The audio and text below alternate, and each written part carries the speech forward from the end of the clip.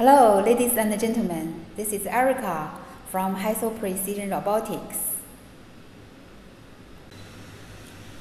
Today, I will introduce this hollow reducer to you. If you are designing robot arms, rotation tables, and automation equipments, you will never miss this hollow reducer.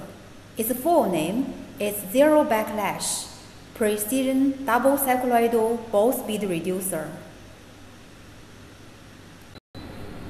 This big hollow center will be allowing cables, lasers, hoses to pass through the axis of rotation. While keeping constant, perfect accuracy, high efficiency, long life.